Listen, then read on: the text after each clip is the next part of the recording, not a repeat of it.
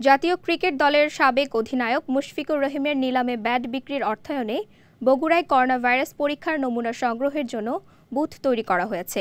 গতকাল বিকেলে সদর উপজেলার স্বাস্থ্য ও পরিবার পরিকল্পনা কর্মকর্তার কার্যালয়ে নমুনা সংগ্রহের দুটি সেফটি বুথ এবং চিকিৎসকদের জন্য একটি সেফটি চেম্বার স্থাপন করা হয়।